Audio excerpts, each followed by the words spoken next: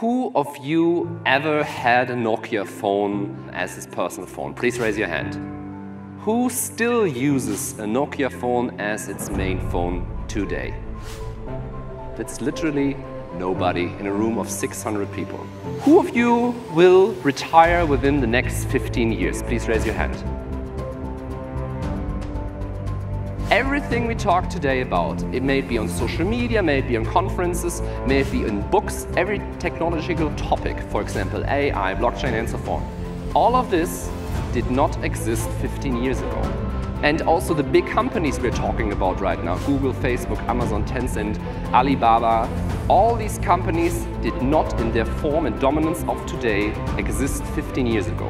So even for those that see pension around and retirement around the corner, this means everything is going to change at least one more time. The question is what could be done. I strongly believe that you guys in this room did already 50%. Why? Because you are here and 99.9% of the industry is not. I strongly believe Attention is so important because without the intention you have to have, you can have the best amp, the best insurance product in the world, you're not going to sell it.